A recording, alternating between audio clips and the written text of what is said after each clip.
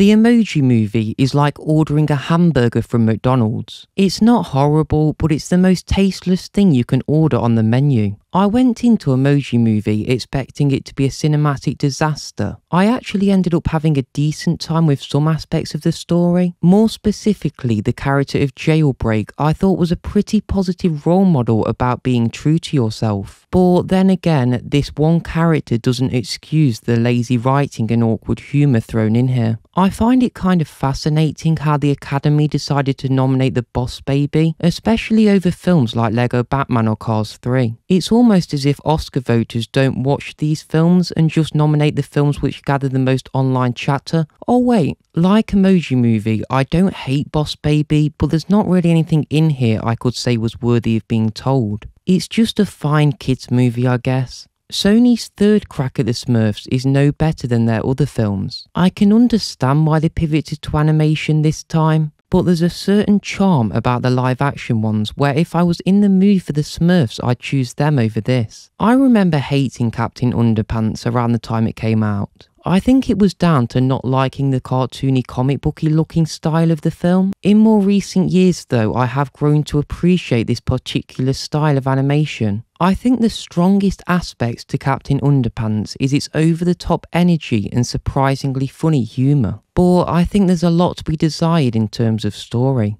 John Cena's Spanish Bull film was another okay film from 2017. There really isn't any 2017 animated films I hate, but for some reason I find a lot of these films just okay. Sure, this would lean a little more positive than the others, but again, it's not something I choose to rewatch all that often. Lego Ninjago isn't a brand I was familiar with before this movie, but colour me shocked, this film turned me into a Ninjago believer. I quite enjoyed this film, and to be honest with you, most of this is down to the father and son dynamic between Garmadon and Lloyd. I really didn't expect a Lego movie to pull on my heartstrings, but this one did. I really enjoyed the first Despicable Me, and I even like number two. On saying that, I just don't think the third one is anywhere near as good as the previous two. I kind of blame this film for my excitement being low on the fourth movie coming out later this year, but I do think that our retro style villain in here is a peak Illumination villain. Okay, I know what you're thinking.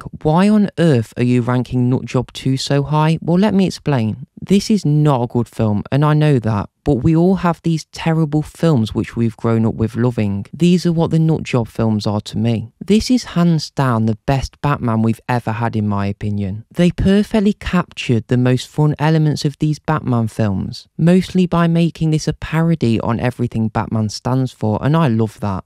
I had an amazing time rewatching Cars 3 last week. As much as I'm a Cars 2 defender, this should have been the direct sequel to the first Cars. It feels very in line with that film whilst adding an extra level of groundness. It's almost as if Cars grew up with its audience. The thing that gave Coco a slight edge over Cars 3 for me though is the emotional value and world building put into play here. Pixar captured the land of the dead in such a vibrant and fun way, where it makes us want to visit and in a weird way decreases our fear of death. To me, this afterlife looks more like a paradise. The emotional moments in here always get me, and Ernesto's cold blooded decision to poison Hector's drink is pretty dark for a family film.